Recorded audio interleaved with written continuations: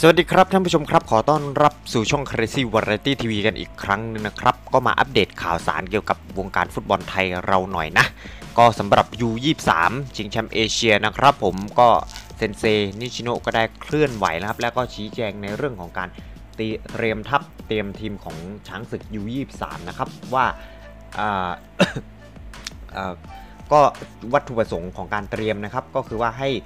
นักเตะ U23 ได้พัก แล้วก็ได้ฟื้นฟูสภาพร่างกายและจิตใจนั่นเองนะครับนิชิโนะก็แจงแผนเตรียมทัพนะครับผม ช้างศึก U23 ลุยศึกชิงแชมป์เอเชีย เร่งฟื้นฟูจิตใจร่างกายนักเตะนั่นเองนะครับท่านผู้ชมครับอากิระนิชิโนหัวหน้าผู้ฝึกสอนทีมชาติไทยนะครับผมชาวญี่ปุ่นวัย 64 ปีเปิดเผยถึงแผนการเตรียมทีมชาติไทยรุ่นอายุไม่เกิน 23 ปีสำหรับศึกชิงแชมป์เอเชีย ซึ่งเน้นไปที่การให้ผู้เล่นฟื้นฟูและฝึกซ้อมตามโปรแกรมของสโมสรก่อน เรียกเข้ามาเข้าแคมป์ทีมชาติไทยอีกครั้งหนึ่งนะครับ พร้อม อยากให้นักเตะได้เปลี่ยนบรรยากาศเพื่อฟื้นฟูร่างกายและจิตใจให้มีความพร้อมในการเรียนรู้แท็กติกรายละเอียดการฝึกซ้อมต่างๆ และสร้างความกระหายมุ่งมั่นเมื่อเข้าสู่ทัวร์นาเมนต์สำคัญอีกทั้งยัง ลดความเสี่ยงต่อการบาดเจ็บนะครับหลังจากลงเล่นมาตลอดทั้งปี ทั้งระดับสโมสรและทีมชาตินั่นเองนะครับสำหรับทีมชาติไทยรุ่นอายุไม่เกิน 23 ปี ได้เสร็จสิ้นภาระภารกิจแข่งขันในมหกรรมฟุตบอลซีเกมครั้งที่ 30 ที่ประเทศฟิลิปปินส์เป็นที่เรียบร้อย ซึ่งทางอากิระนิชิโนก็ได้มีการ เปลี่ยนนักเตะนะครับปล่อยหมายถึงปล่อยให้นักเตะนะครับ ผมกลับไปพักผ่อนนะครับ ก่อนจะเดินทางมาเก็บตัวนะครับ ในวันที่ 26 ธันวาก็ปลายเดือนธันวานี้นั่นเองนะครับผมและให้นักเตะได้หยุดอีกครั้งในช่วงปีใหม่นะครับวันที่ 31 ธันวาคม 2562 ถึง 1 มกราคม 2563 นะครับ 31 1 นะ ก็ 2 วันเนาะเออนะฮะ ก่อนจะเรียกนักเตะกลับมาฝึกซ้อมในวันที่ 2 มกราคม 2563 เพื่อเตรียมความพร้อมนะครับก่อนการแข่งขันฟุตบอล ชิงแชมป์เอเชีย รุ่นอายุไม่รุ่นอายุไม่เกิน 23 ปีที่จะเริ่มต้นเตะนัดแรกในวันที่ 8 มกราคม 2563 นั่นเองนะครับท่านผู้ชมครับนะอากิระนิชิโนะกล่าวว่านะครับผม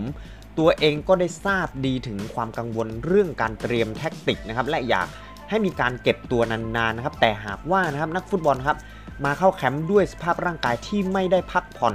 อย่างเพียงพอนะครับจะเกิดความเสี่ยงที่จะมีอาการบาดเจ็บได้ และไม่เป็นผลดีต่อการเตรียมทีมทัวร์นาเมนต์สำคัญแน่นอนนะครับ เราต้องให้นักกีฬาได้พักในเวลาที่เหมาะสมให้พวกเขาพร้อมทั้งร่างกายและจิตใจนะครับ เพื่อสามารถเปิดรับรายละเอียดในการฝึกซ้อมและแท็กติกต่างๆ ได้นั่นเองนะครับผม อากิระนิชิโนะก็ได้ให้สัมภาษณ์ไว้ว่านะครับผม ผมจึงอยากเห็นผู้เล่นกลับมาด้วยความรู้สึกสดชื่นนะครับผมเเหมือนได้เริ่มต้นใหม่ด้วยความรู้สึกใหม่ๆ ในช่วงปรีซีซั่นนะครับผมจะทำให้นักเตะกระปี้กระเปล่านะครับผมมีความกระหายที่จะฝึกซ้อมและลงเล่นมากกว่าเดิมนะครับ เพราะจากการแข่งขัน4เกมที่ผ่านมาผมได้เห็นว่านักเตะเรามีความเหนื่อยล้ามากนะครับอืมนะฮะพวกเขาลงเล่นอย่างต่อเนื่องทั้งในฟุตบอลลีก ฟุตบอลถ้วยรวมถึงการรับใช้ทีมชาตินะครับ ตั้งแต่ชิงแชมป์อาเซียน U22 ซีเกมนะครับและบางคนนะครับเล่นให้กับทีมชาติชุดใหญ่ด้วยทำให้เกิดความเหนื่อยล้าสะสมนะครับ เพราะมีเวลาพักน้อยนั่นเองนะครับ ก็ถือว่าเป็นเหตุผลที่ค่อนข้างจะ สมเหตุสมผลพอสมควรนะ ผมว่าก็น่าจะเออเป็นเป็นเรื่องที่ให้นักเตะได้พักฟื้นอาทิตย์ 2 อาทิตย์อะไรเงี้ยก็โอเคนะผมว่าอาทิตย์หนึ่ง10 วันอะไรเงี้ยเออ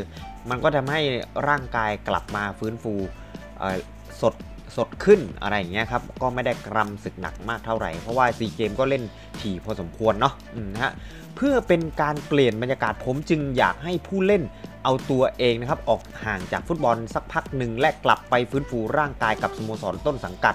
ตามแผนของสโมสรเราให้เกียรติผู้เล่นและสโมสรอยู่ตลอดเวลานะครับดังนั้นผู้เล่นที่จบฤดูกาลจากสโมสรก็ต้องมีการกลับไปเตรียมงานกับสโมสรบ้างนะครับ ก่อนที่จะกลับมาอยู่ เข้าแคมป์ทีมชาติจนถึงเดือนมกราคมนิชิโนก็ได้กล่าวให้สัมภาษณ์ทิ้งท้ายเนาะอืมก็เป็นเหตุผลที่ฟังพอเออมีเหตุมีผลนะครับผมมีเหตุมีผลของมันนะครับว่าเฮ้ยนักเตะก็เหนื่อยล้านะก็ก็ต้องเห็นใจนักเตะด้วยนะเพราะเล่นมาทั้งเกมเนาะเออก็ไปฟื้นฟูร่างกายไปทบทวนตัวเองว่าเฮ้ยมีข้อบกพร่องอะไรตรงไหนจะได้ปรับปรุงอะไรเงี้ยกลับมาสดชื่นก็ เข้าสู่โหมดของการชิงแชมป์เอเชียได้อย่างเต็มสูบอะไรอย่างนั้นเนาะครับสำหรับทีมชาติไทยของเรานะครับก็จะมีโปรแกรมลงเล่นในในการแข่งขันฟุตบอลชิงแชมป์เอเชียรุ่นอายุไม่เกิน 23 ปี รอบแบ่งกลุ่มกลุ่ม A นะครับเราอยู่กลุ่ม A นะครับดังนี้นะครับนัดแรกนะทีมชาติไทยเรานะครับจะเจอกับทีมชาติบาเรนในวันที่ 8 มกราคมนะครับ2563 เวลา 2 ทุ่ม 2 ทุ่ม 15 นาทีนะครับต่อมานัดที่ 2 ทีมชาติไทยก็จะเจอกับทีมชาติออสเตรเลียนะครับในวันที่ 11 มกราคมนะครับ